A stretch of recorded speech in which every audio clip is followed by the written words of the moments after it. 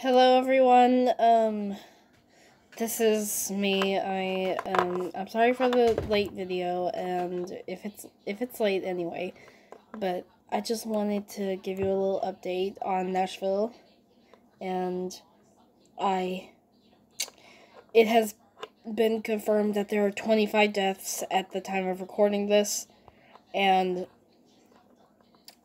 I don't know what to say and last night was kind of bad. The tornado sirens went off. It was thundering, and it had lightning and wind and rain, and you get the point.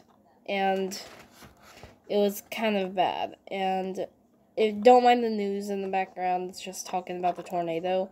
And pray for Nashville because Nashville got hit by an awful tornado. Germantown was almost completely destroyed, and it was awful just to let you know I'm okay and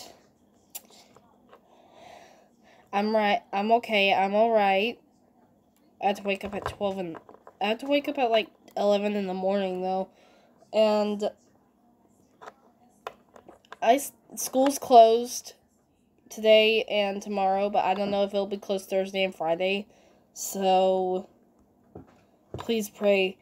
Please pray for Nashville. I will make an animation about this coming soon. The tornado.